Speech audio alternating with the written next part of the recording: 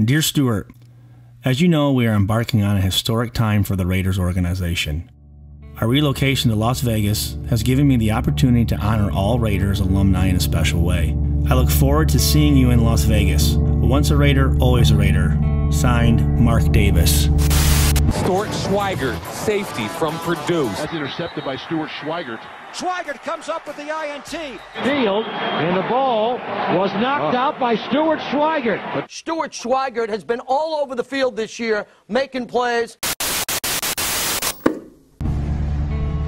Al Davis gave me an opportunity.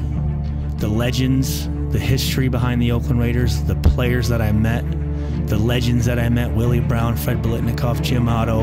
Um, I mean, the list goes on and on and on going back to the reunion, it was my first time since I left in 2007, and the hospitality was amazing. This right here? Strawberry watermelon pork belly. Ooh, strawberry fancy. Uh-huh. You're talking to over 120 former players, and not once was there an ego. Not once did anyone act big time. It was literally like we were family. Coming back was it, it's bringing something into my life that I have missed a huge part of my life.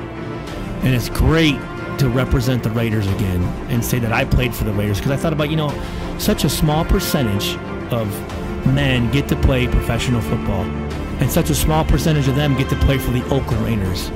But Mark Davis and what he is doing with the alumni, it's saving lives. It's putting something back into somebody's life that they so desperately needed, such as myself. Once a Raider, always a Raider.